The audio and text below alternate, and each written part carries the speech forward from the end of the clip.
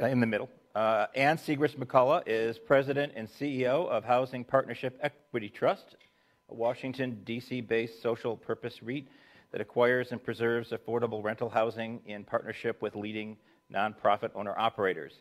HPET, as it's known, owns nearly 3,000 units of rental housing in 15 properties across the country and is also a longtime financial services executive and affordable housing advocate during her 18 year career at Fannie Mae.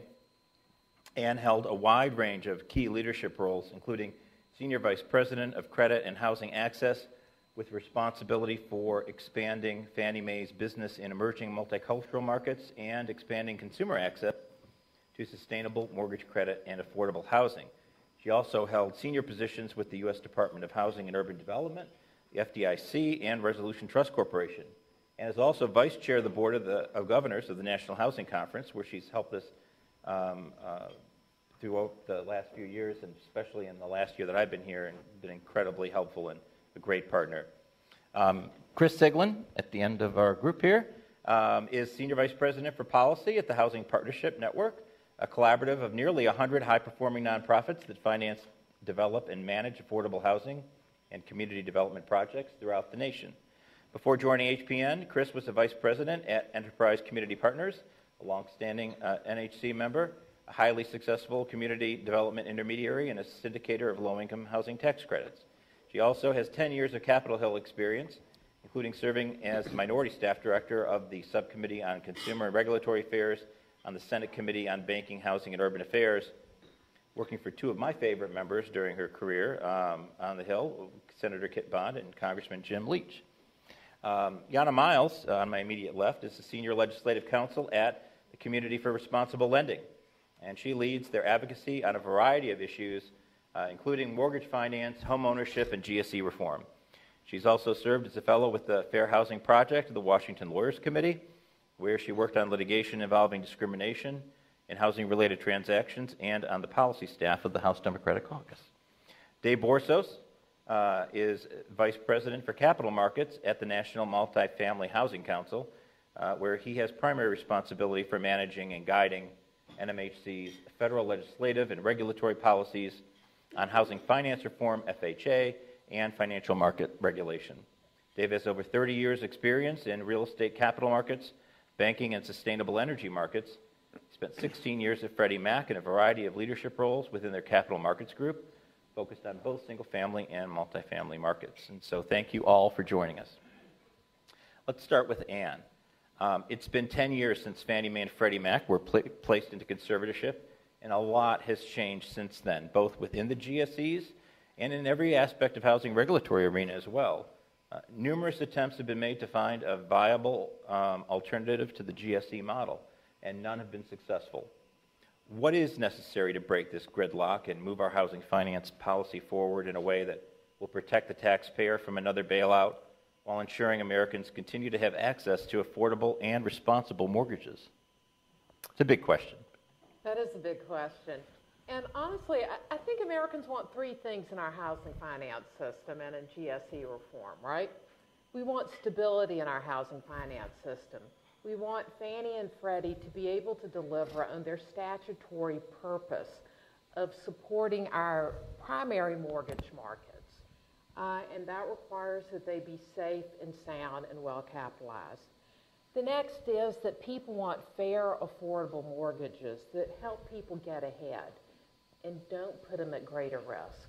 And I think third is that we want the benefits of our housing finance system to be broadly shared across the country with families of modest means and in tougher to serve communities. And I believe we can get we can accomplish those three things. But facts matter. And David used the word bailout. And so let's talk about that, right? I was looking just recently, and Fannie and Freddie took down, have taken down 190 billion from the U.S. Treasury, and they've returned 286 billion in dividends without amortizing any of the principal on what they've taken down.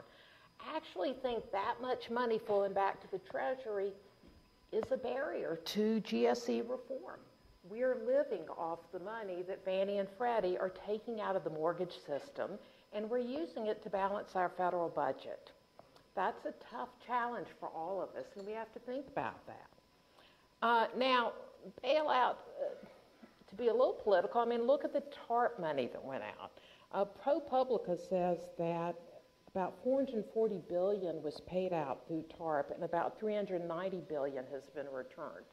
So that is a gap, and some of that gap is coming through the money that we're getting from Fannie and Freddie. Okay, thank you. Um, Dave, how does rental housing fit into all this? In, in the multifamily arena, are we trying to fix a system that wasn't broken? And uh, what should we expect from uh, the GSEs and multifamily market when, as the Federal Reserve recently reported, half of Americans are struggling to actually afford their rent? So, as you point out, the multifamily market during the downturn performed exceedingly well. So, the mantra that we always talk to both regulators and legislators let's not try and fix something that's not broken.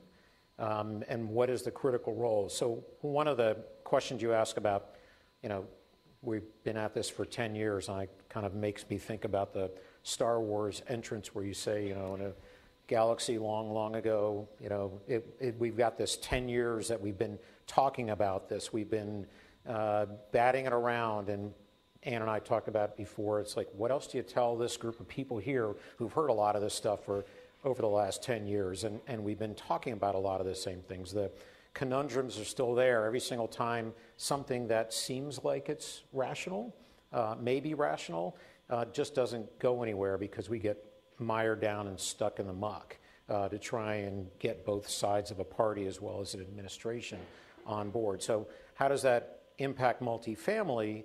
Um, one of the key things I think across the board, which um, I think is exceedingly important, is um, and, and some of the principles that Anne talks about are are, are always there. You, uh, we feel it's very important to maintain some form of a government backstop. I think fundamentally a lot of the regulators and a lot of legislators are there. I think that's key in order to do that. We saw um, during the downturn where the GSEs stepped in in a countercyclical role and, and filled a gap where other providers, not including FHA, because they also stepped in the gap there, um, disappeared from the market. And some of them have returned, and others have not returned. So there's a, a critical ongoing role that we think that some form of housing finance reform plays um, as it pertains to multifamily and whatever we choose to do uh, coming out of that. Um, Additionally, you asked a question about how does it uh, fit in terms of the rental market, where you've got a lot of challenges out there. If you look at um, the dynamics in the market um, are such that development and where a lot of products been developed over the last 10 years um, has been much more towards the upper end, right? The reality is we have a very barbell distribution for development pipelines. So you've got upper end product and you've got what is a subsidized market, so whether it's a LIHTC, and you've got really almost nothing in between. And so um, what we really need to do is figure out solutions that uh, have the ability to develop uh, product and preserve and uh, product that serves all income brackets.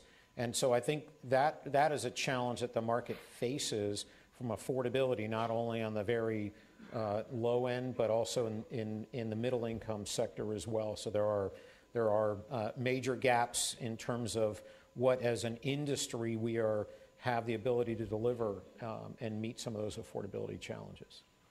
Kris, um, nonprofit housing developers, they've really led the way in the production of affordable housing, and yet there is so much more to do. Production is such a big piece of this. Uh, what needs to be preserved or enhanced uh, to ensure your members have all the resources they need? What else do we need to be doing? Well, I mean, it's just, it's really interesting, like, as my fellow panelists have said, to reflect on the fact that the GSEs have been in conservatorship for 10 years. I mean, children have grown up in that time. It's, it's kind of amazing.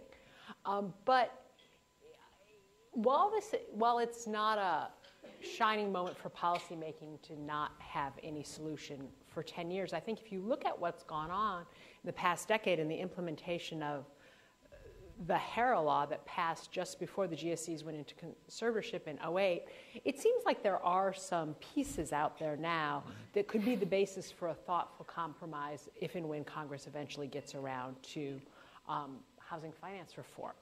And you know, I think that a lot of us have spent a lot of time recently on the Community Reinvestment Act and looking at the responsibilities on the primary market.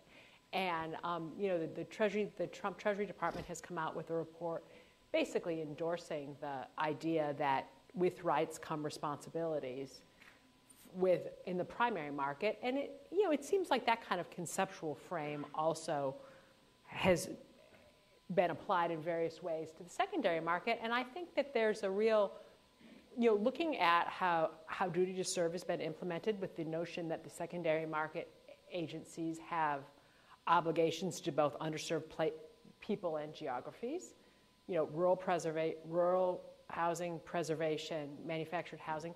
That all, you know, it's duty to serve has certainly not been perfect, but there's a lot of thoughtful work that's been done in how how the the secondary market can remain profitable, as Anne noted, how much money they've made, yet also serve urgent needs.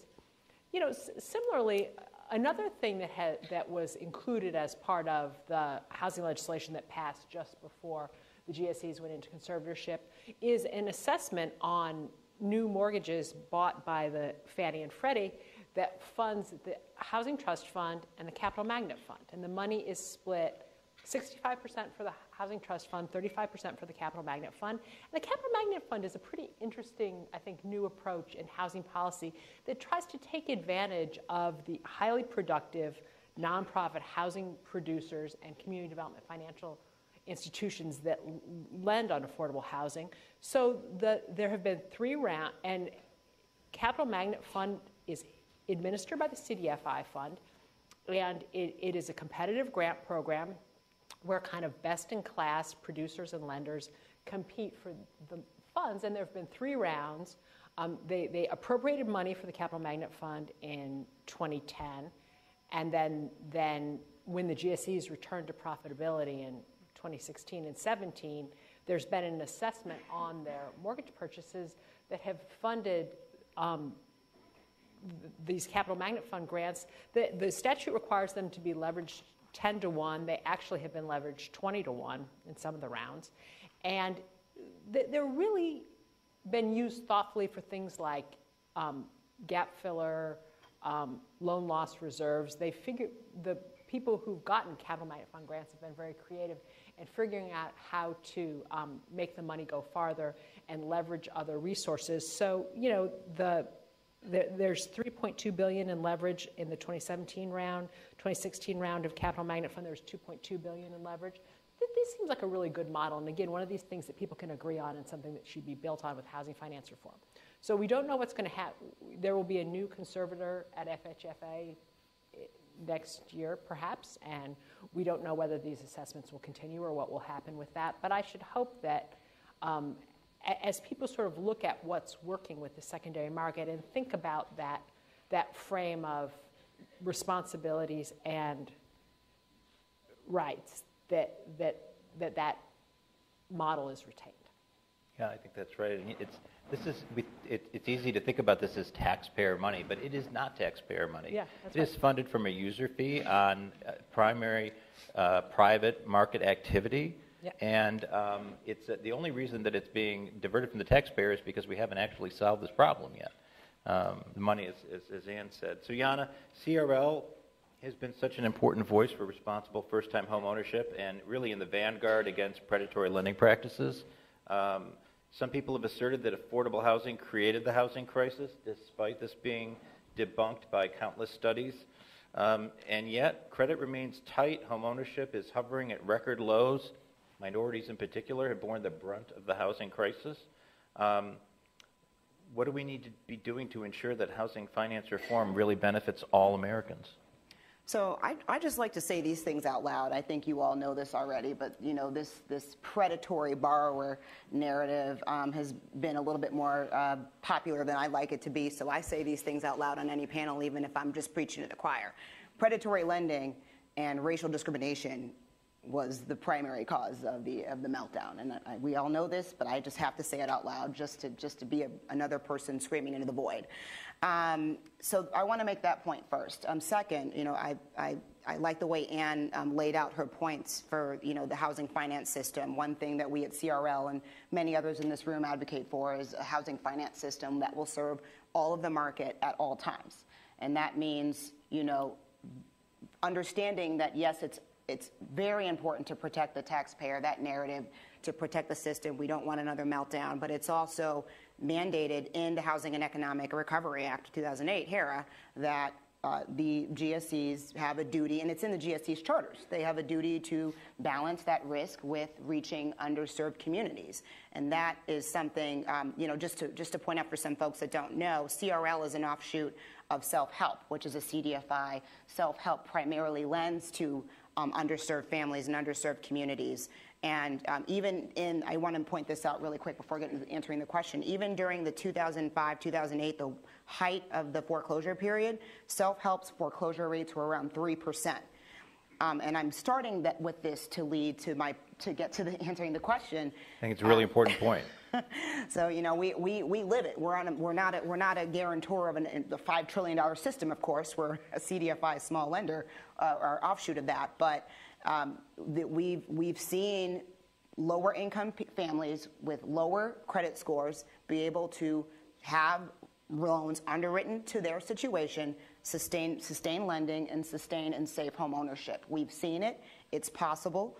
And for in, in, in reference to uh, something as huge as the next housing, housing finance system, Fannie Freddie, or what comes after that, the right type of underwriting is not impossible. It's possible for the for the enterprises to protect their protect their finances, protect from another bailout. I think it is important that we remember that word. It, it's it is political, but it's a part of the discourse to protect against that and to fulfill a part of its mandate, which is to serve the entire market. That also includes allowing for, you know, on the other side, on the lender side, allowing small lenders to be able to continue to participate.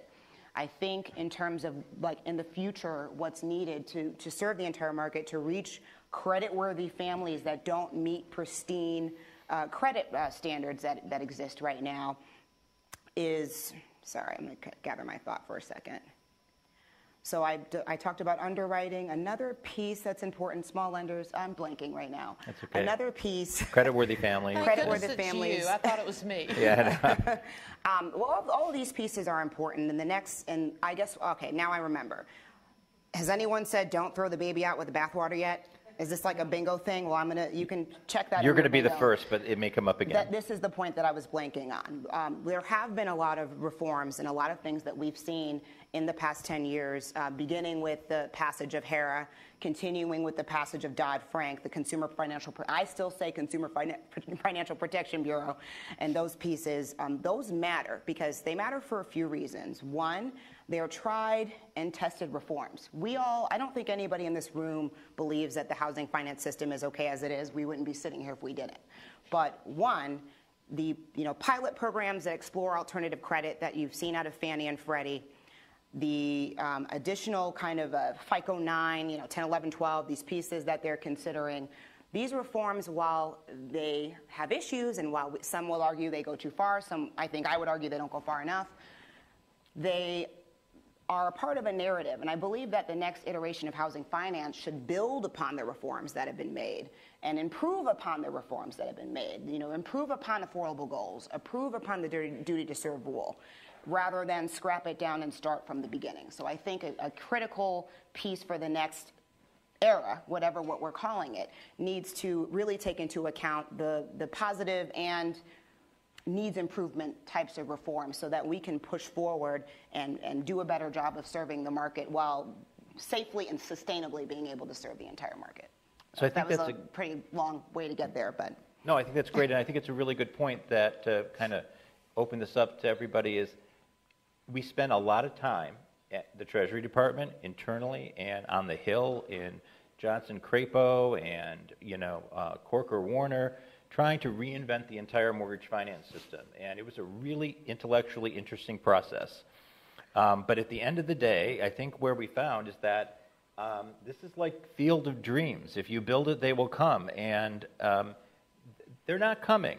Um, the, even if you create, you know, a new housing finance system with um, these de novo uh, organizations that will get a utility rate of return and have enormous political risk, no one's capitalizing that. I mean, there would be lobbyists lined up, you know, the hall here and down all the halls of Congress. Who wants to put hundreds of billions of dollars into a utility rate of return? And every time I say that to somebody on Wall Street, they're like, you know, yeah, not me.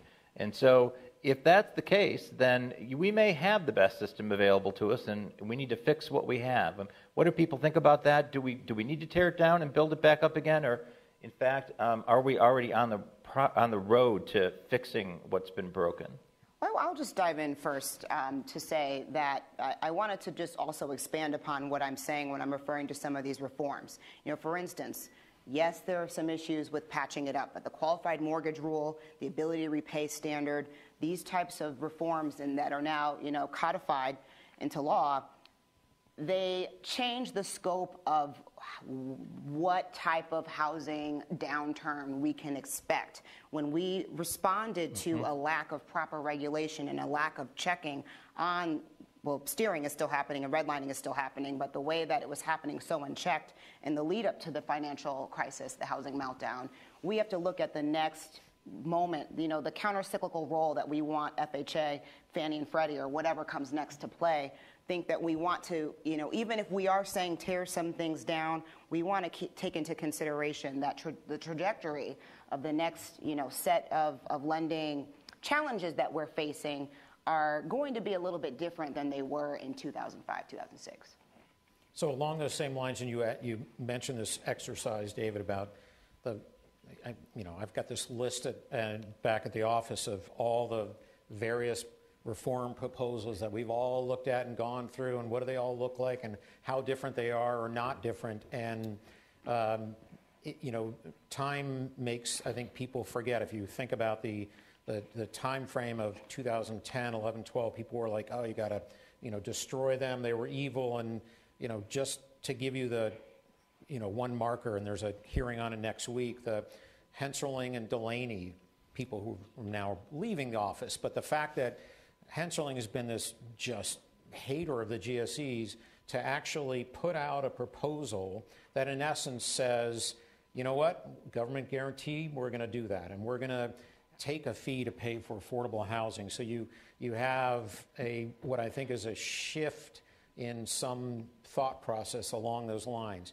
Do I think that that makes the legislative solution any easier? The answer is still probably no, which is why you hear administration talking about what are the administrative type of solutions. And if you go down that path, which in some ways FHFA uh, has been doing that, has been doing some of the reforms. They've been doing some of the things that people have wanted who have been, you know, enemies of and wanting to, to uh, wind down the GSEs is to say, you know, how do you protect taxpayers, right? CRT started, and how do you do certain things where you do or don't want them to do certain things? So I think some of those reforms have already started to take place, and the question would be if the, admi- the administration and the director of FHFA through here has an immense amount of latitude of what they that person can do.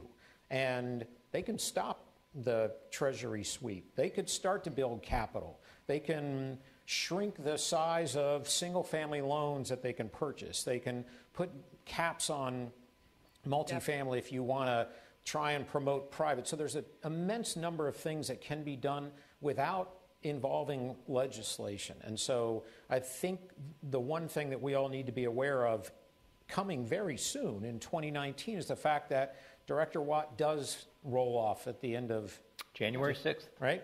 So whoever steps in there, and, and the administration's been quoted as having interest. We are evaluating things as they talk about it. So I would fully expect that there's a much higher probability of something getting done administratively, and it's also going to depend on who they choose to put in there um, to move some things forward um, administratively and, and look for changes there. So if I were to that could be good, it could be bad. I mean, there, yeah. you know, there is some threat uh, to finance markets, both for the single family and the multifamily, I think, depending on what direction they choose to go. Well, and when we look at the list, um, you know, you've got the who's who of uh, candidates out there. You've got ideologues and engineers. Yeah. And uh, with a system this complicated, I'd kind of like to have an engineer rather than an ideologue. Anne, what do you think?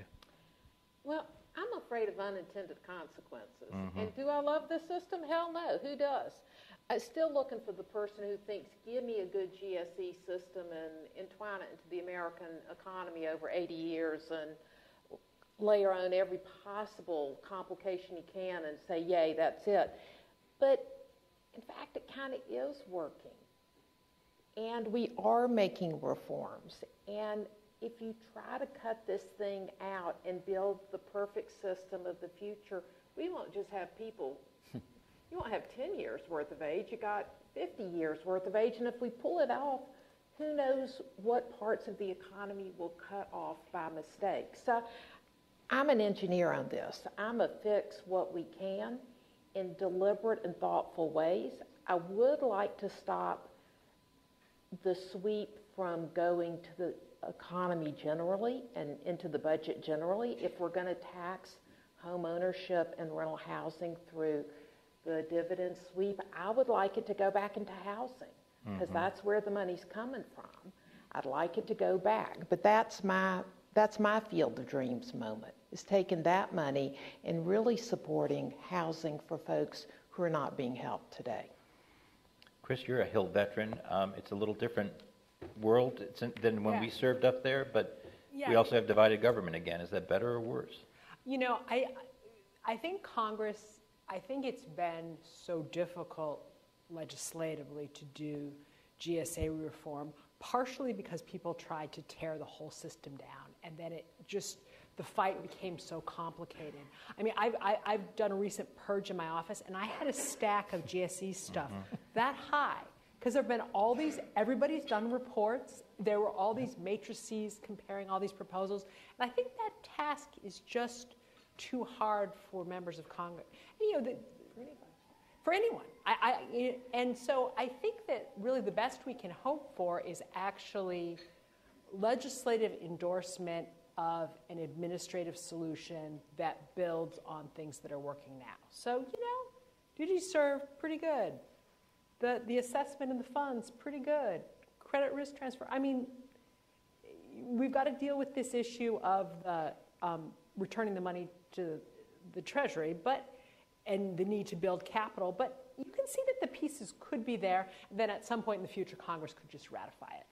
Yep. I want to steal a point that Yeah. you uh, made prior to this panel that I hadn't thought of, that I actually thought, wow, that's it. So I'm going to steal it. This was David's comment. You only have to credit me say it. once. I'm going to say it, though.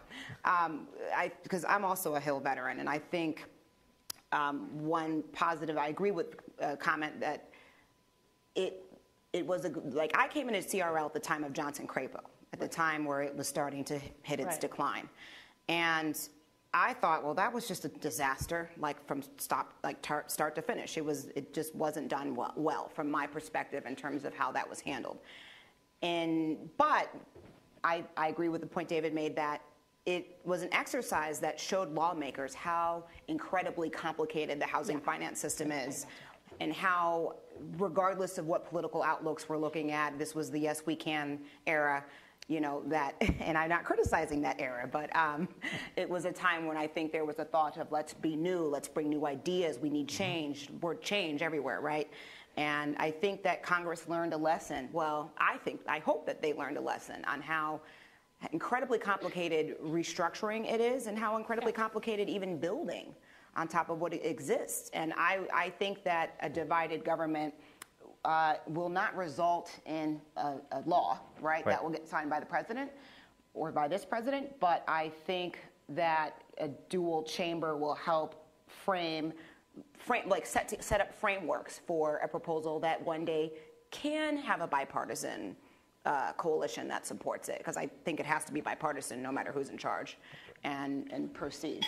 Well, and the other good thing is that there's probably half a dozen members of Congress now who actually can use convexity in a sentence. uh, let's take some questions from the audience. can. we have any questions? Yes. Priya? About four years ago, there was the, um, the report that, uh, the bipartisan, um, the, BPC? yes, but there was a, um, a group that was convened about GSE reform.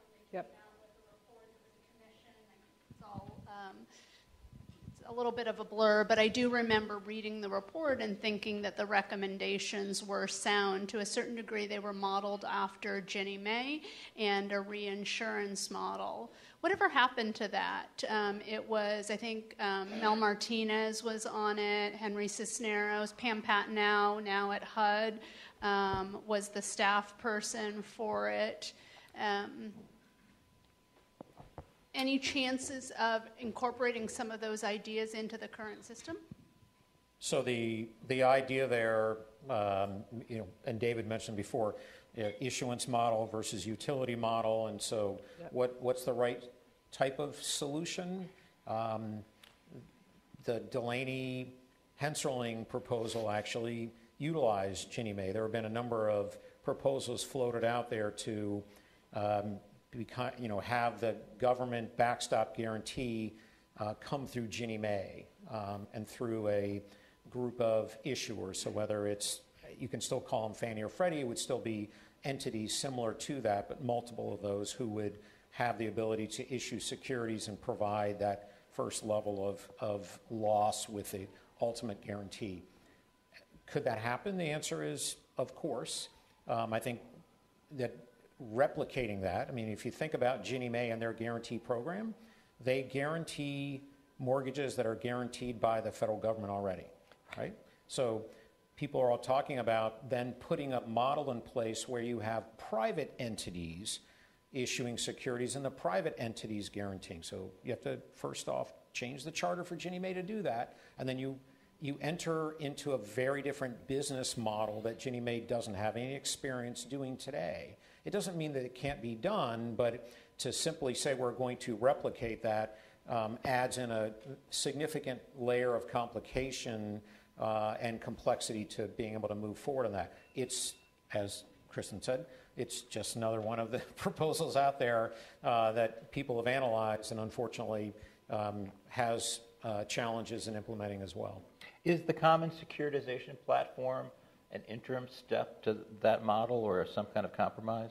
Well, that's just a, that is purely a securitization vehicle where you're simply trying to provide a common security platform to the existing enterprises and quote unquote any other type of entity that would securitize and issue a security that looks the same with the idea there when you think about Freddie and Fannie today issue single family securities that are different, right? The delay, payment delays, et cetera, create muddiness in the water. And if you were simply saying everybody's going to issue the same type of mortgage backed security, that doesn't translate into the, the guarantee side of it. It simply is the securitization vehicle. But I don't think we're focusing enough on what powerful engines of access to economic opportunity the GSEs are. And so there's a lot of work that we're all doing on how to avoid the next crisis and how to make sure they're capitalized and how to address the difference in how a Freddie security trades versus a Fannie. All that's nice engineering, but most of us are in this room because we care about the opportunity that housing provides to working Americans. And anything we're going to do with the GSEs really needs to focus on having them proactively support affordability, proactively support primary market players who are doing innovations, who are looking at different ways to serve the market and helping them scale those innovations so you can lower costs and really deliver benefits more broadly. It's not just enough to make them super safe and sound if we're not going to keep focusing on why we want them in the first place.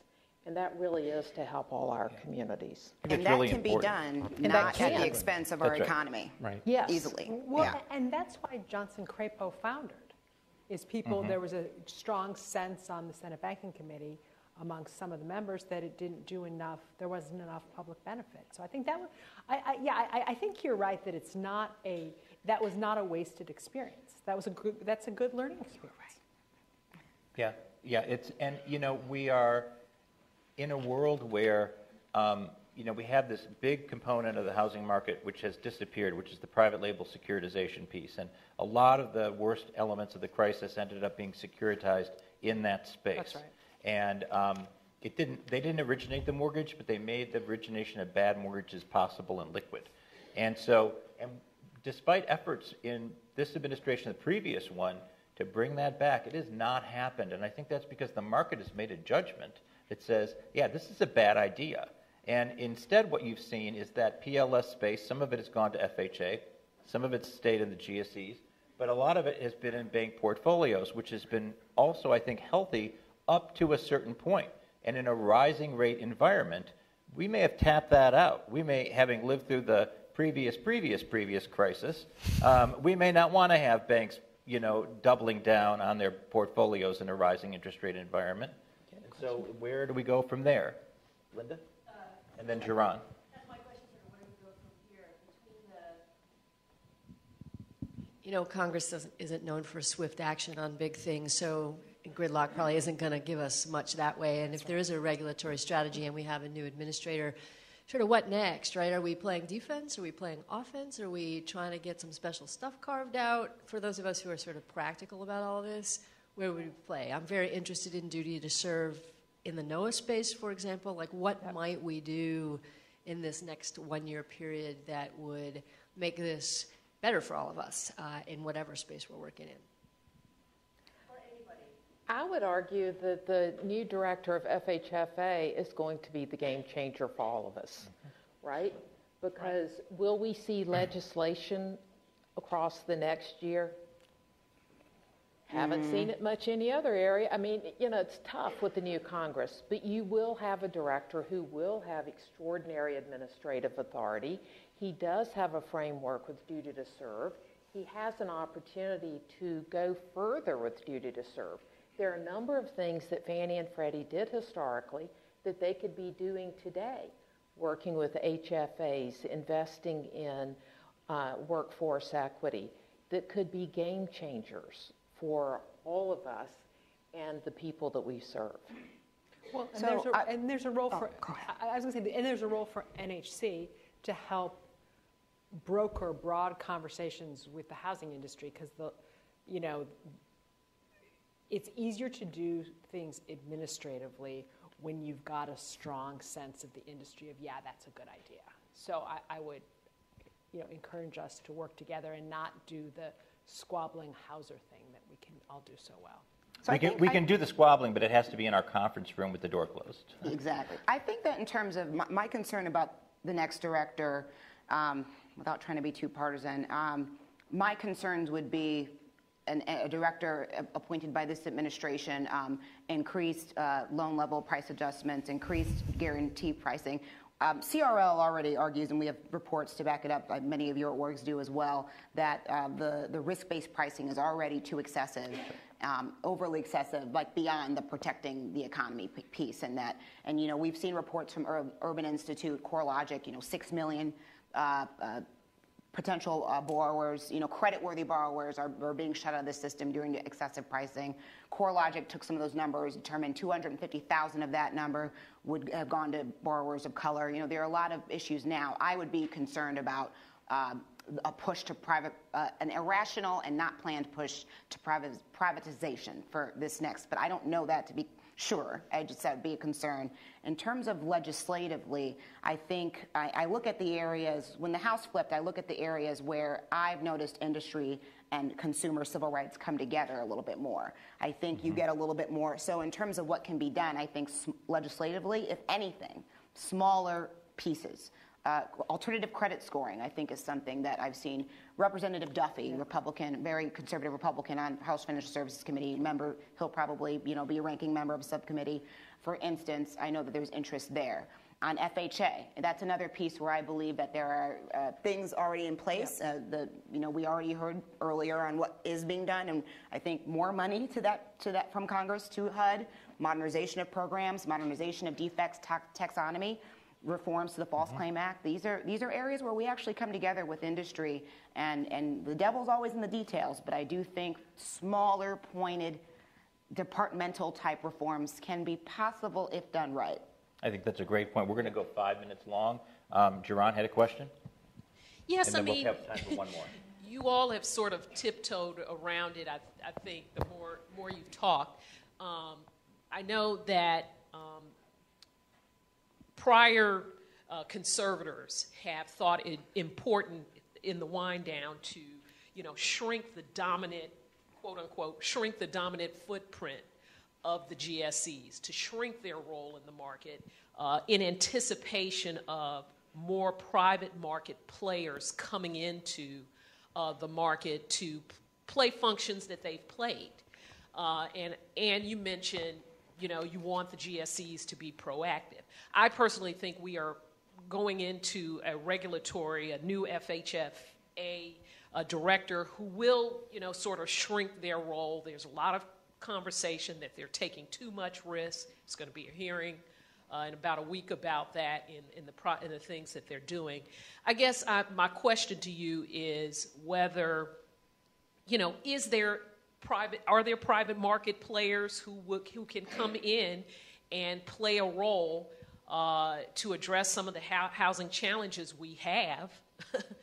if you shrink the GSEs, uh, higher capital requirements, lower loan limits, uh, reducing the products that they're putting into the market, and so forth. I'll be self-serving and talk about multifamily. Um, Need to. Because there is uh, more competition uh, in the multifamily space than there certainly is in the single-family space. Um, but what have, they've played a counter-cyclical role historically. They're playing a bit of a pro-cyclical role right now. I think they're. Mm-hmm. I think the, F- the FHFA is concerned about the market share that they've grown to, and, and do what I think that they are um, pursuing some ways to constrain some of the uh, market share of the multifamilies today. There is a significant expansion. Um, there is a cap in place. There is a production cap, on unlike single family. Um, hasn't been as effective because there are a lot of things that are outside of the cap. So they are, they are there, there is precedent on the multifamily side to try and actively manage and promote uh, more private lending. I know it's not the same in the single family space at all. Um, certainly would like to be able to promote that as well. I don't know if, the, if there's any similar analogies. I could put my single family hat on, but I'd probably get in trouble for doing that. So That's okay. And I'll jump in on the single family pieces. You know, I am now worried about irresponsible underwriting right now. We've learned that lesson. It may be a problem 10 years when everybody's forgotten, but we, we've learned that lesson about irresponsible underwriting, except that when you look at the cash out refinance numbers and how fast they're growing, 87% of the refinances today are taking more than 5%, um, uh, uh, uh, or actually increasing the loan amount more than 5%. That's a lot of equity coming out of the system. And, you know, if that's going into the house, that's fine. If that's paying for retirement or college, that makes sense that we do that with retirement plans too. But when that's just trying to fend off a recession because recession shouldn't happen anymore, um, it's incredibly dangerous because at the time when people need that money the most, um, it's not there. And I think we have to be really, really careful about that. Do we have other, other any other questions before we wrap up? Any closing thoughts somebody want to jump in with? Carol? Maybe one good way to get uh, Congress involved would be to have the best brains trying to simplify the messages. And I can do geek stuff, you know, like everybody else, but I know just, just having read Tailspin by Steven Brill, I, I, I was shocked. The la- second to last chapter was pro affordable housing. But uh, the, uh, he uh, details the complexities that uh, helped, I think, generate the problem. Is that on anybody's agenda? Uh, an, acronym, an acronym list. I, I, definitely think that's an important piece of it, and I also think that in, as we move into this next year, what we're seeing is as the affordability crisis has crept up the income scale, more and more people are hearing about it and talking about it, and members of Congress of both parties are hearing about it from their constituents. And I think we should at least uh, enter this period with an open mind to say, um, maybe people you're not necessarily thinking of as your traditional housing supporters, may, and this is going to be important as people go up to the Hill tomorrow, um, may in fact have more to say and he, want to hear about in affordable housing. On that note, thank you all. Thank you everybody for being here and for participating.